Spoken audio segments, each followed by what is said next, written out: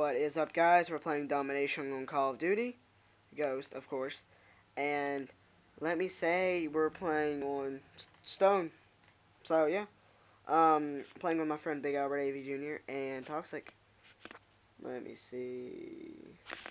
Anything y'all wanna say? Well, we're starting, so um as soon as I get my sister as soon as I get my sister back, I will be uh, recording her and let her watch my match. So my gun, it's got a thermoscope, it's a honey badger, extra clipping and everything. So you know, and got a tactical. Just bought it.